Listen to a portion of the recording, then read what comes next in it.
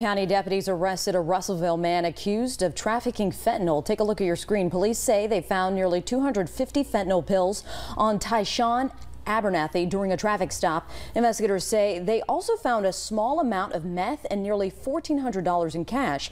He remains in the Colbert County Jail on a $200,000 bond. Right now.